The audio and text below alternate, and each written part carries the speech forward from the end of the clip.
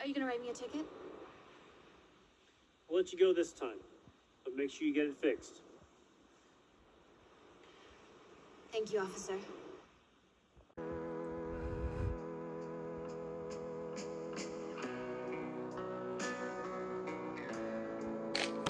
Heck yeah, my Casetify case came in. Did not expect to be doing this kind of haul. Let's see the packaging. Cute. This is obviously not sponsored. I don't have subscribers.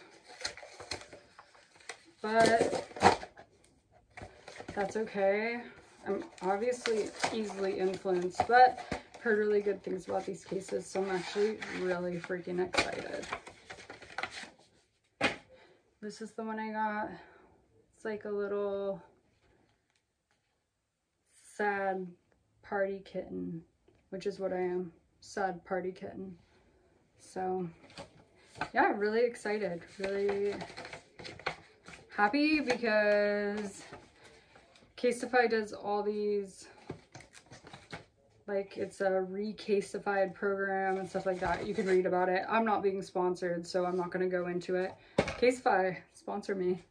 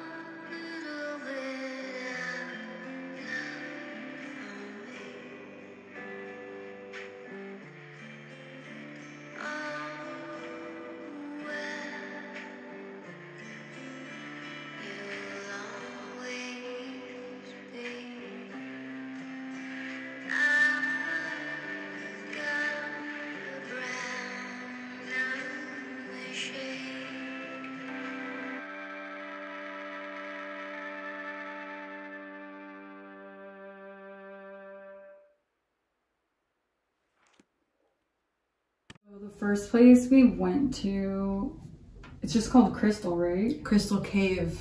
Crystal Cave in Costa Mesa. I didn't get anything there. I got the energy of belief. We'll see. All right, and then That's pretty much the it. next place we went, I can't even think, I worked in that parking lot and I can't even think of what it's called. Yeah. I don't know. I'll add a clip of the name and I'll link it down below. You can tell. This place was better. So, got these candles. They don't smell like anything. They're like intention candles. And don't I think ask they kind of me- do smell. Do they? Mm-hmm. Oh, they do. They do. They're like made with oil. The oils. oh, Magic what? oil. I also got a couple crystals. I need to look up the meanings later. I'm not good at this. This is like a new, new vibe. I got amethyst. I'm not gonna go through it. These ones I picked for me because I felt like I needed them. It's none of your business. And we went to the House of Intuitions, but they're really like the places we went before are more. They come off as like more legit. The girls at House of Intuition, like I'm just gonna say it, like. They were great and helpful. I don't know what we would have done without them, and they were really knowledgeable on the products. The what basically House of Intuition is like Yeah, what's the vibe? marketed. It's like has better marketing and like branding, so you know it makes it seem not as legit because they're just trying to attract like a manic pixie Tumblr girl.